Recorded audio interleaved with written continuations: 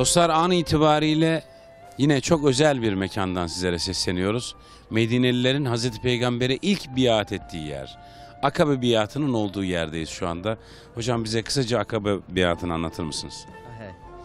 Akabe e, iki dağ arasındaki e, dar geçit anlamına gelir. E, şu anda fakat şu anda ortada kaldı.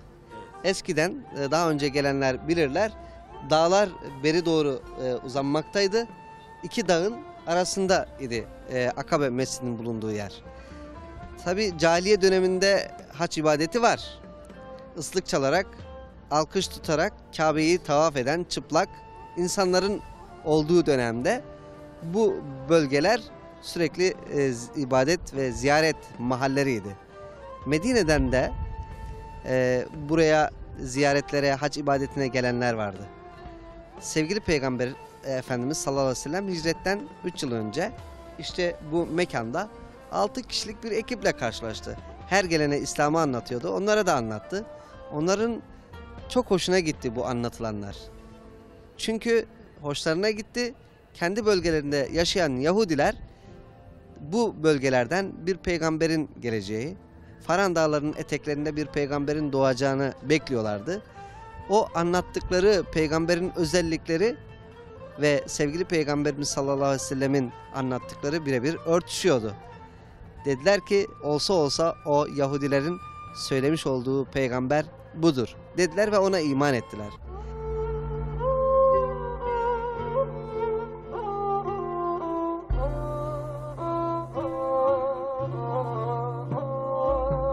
Bu altı kişi yanlarında Mus'ab bin Ümeyr'i götürdü.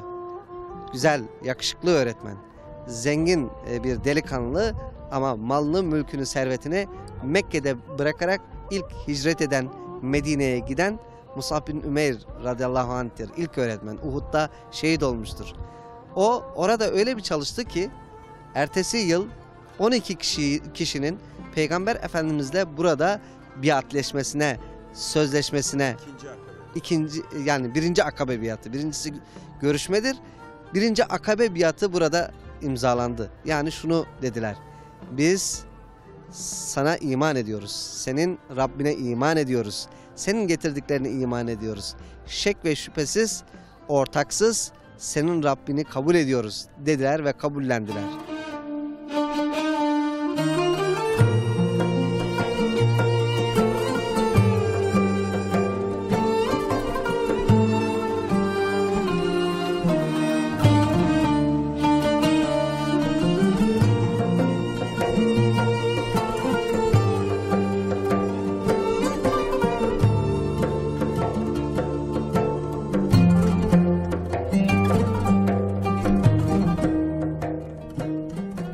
İkinci yıl Musab bin Ümeyr'in gayretli çalışmaları neticesinde inananların sayısı arttı. Ee, sayı 70'i aştı. 73 kişilik bir ekip yine buraya geldiler. Bu mescidin olduğu yerde bu sefer kendi Peygamber Efendimiz sallallahu aleyhi ve sellem'i Medine'ye davet ettiler. Canlarını canları adına, canlarını feda etmek adına Peygamber Efendimiz'i koruyacakları garantisini verdiler zina etmeyeceklerine, şirk koşmayacaklarına, adam öldürmeyeceklerine, can kıymayacaklarına, cana kıymayacaklarına işte burada söz verdiler ve hicretin adeta startı oldu burası.